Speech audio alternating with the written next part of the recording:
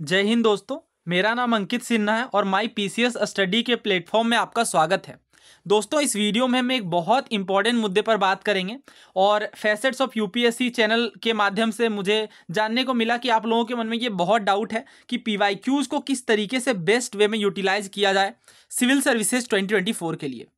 दोस्तों, अब एग्ज़ाम को हार्डली दो महीने हैं तो इन दो महीने में मैं आपको सजेस्ट करूँगा कि अगर आपने, जो अभी मैं बताने वाला हूँ, अगर आपने इतने प्रीवियस ईयर क्वेश्चन को कवर नहीं किया है तो अभी आपको मॉक टेस्ट देना बंद कर देना चाहिए।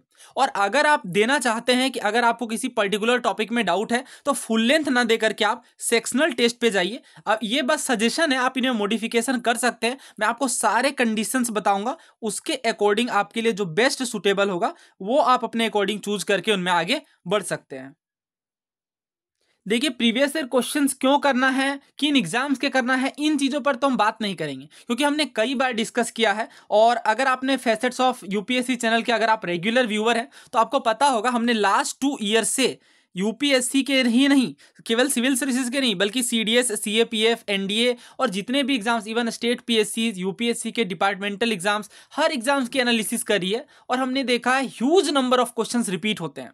सिविल सर्विस में भी काफ़ी सारे क्वेश्चंस डायरेक्टली रिपीट होते हैं। अगर आप देखना चाहते हैं कि सिविल सर्विसेज़ के क्वेश्चंस की क्या सोर्स है तो ऑलरेडी मैंने वीडियो क्रिएट की हुई है। आप फैसेट्स ऑफ़ यूपीएससी चैनल में जाएँगे डिस्क्रिप्शन में तो आपको लिंक मिल जाएगा। वहाँ से आप देखें और समझें कि किस तरीके से ह्यूज नंबर ऑफ़ क्वेश्चन जो है प्रीवियस ईयर से हैं और स्टैंडर्ड सोर्सेज से ही हैं। तो कुछ रैंडम सवालों के पीछे भागने की बजाय, अगर आप इनको बहुत सॉलिड कर लें स्टेटिक सब्जेक्ट पे कमांड बना लें तो नो डाउट आपको डेफिनेटली एज मिलेगी तो इस चीज़ को अच्छे से समझ लें।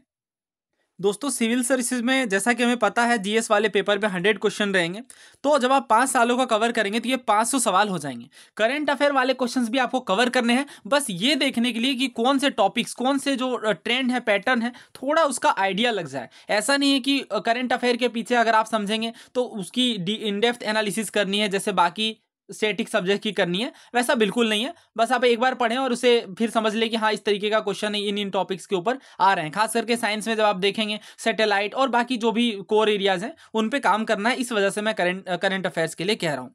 बट सीडीएस का जब आप पेपर देखेंगे तो सीडीएस के पेपर में 120 सवाल होते हैं जीएस वाले में तो इसमें आप डायरेक्टली 20 30 क्वेश्चन आसानी से हटा सकते हैं। केवल आपको स्टैटिक वाले कवर करने हैं। इसमें जो साइंस आती है नाइन टेंथ एन सी से, उसे भी आपको हटा देना है। तो लगभग आपको इस तरीके से अच्छा साल में दो बार ये कंडक्ट होता है तो दो सवाल जो है ये हो जाते हैं इस तरीके से। वन क्वेश्चन सीडीएस के अंदर निकल करके आते हैं।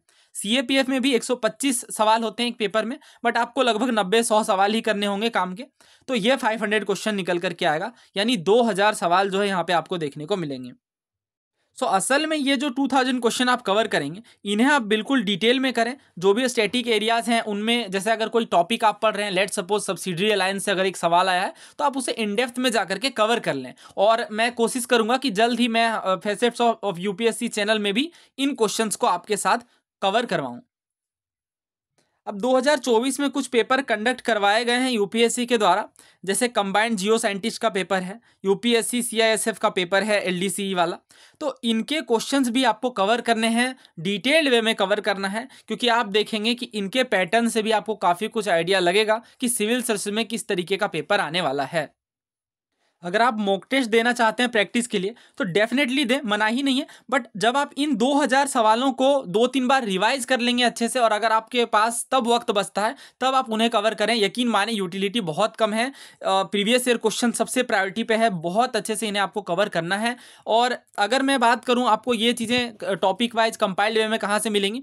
ऑब्वियसली मैंने चैनल में कवर कराया है। लिंक आपको मिल जाएगी डिस्क्रिप्शन बॉक्स में। चेकआउट करें। सारी चीज़ें फ्रीली अवेलेबल हैं तो उसका फ़ायदा लें। पीडीएफ वगैरह भी हमारे टेलीग्राम चैनल पे शेयर कर दी जाती हैं।